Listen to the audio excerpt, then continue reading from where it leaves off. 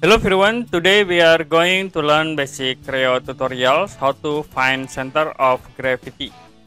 As example I will create simple 3D object and uh, select a view, create sketch.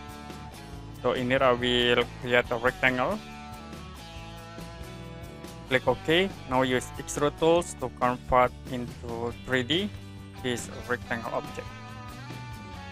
To find center of gravity, we need to set materials into this object you can click file go to prepare and then click on model mo properties.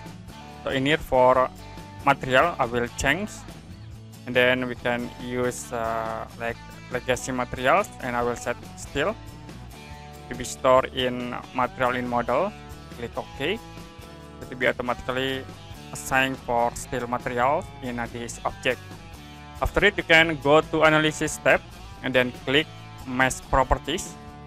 In here, you can click preview. So you can see the center of gravity of this object in here. Okay, that's it for basic Creo tutorials, how to find center of gravity.